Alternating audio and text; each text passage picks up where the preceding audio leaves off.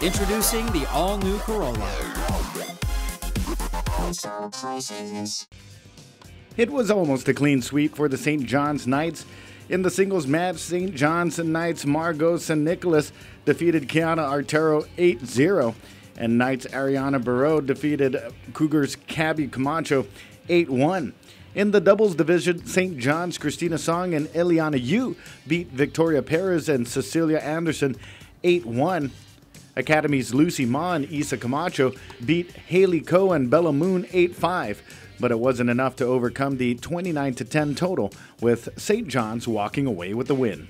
Some of us practiced over the Christmas break, so it was okay for some of us, but I think because a lot of new members on the team, we're just still trying to get everyone coordinated, get everyone to know each other, and so we could play better together as a team.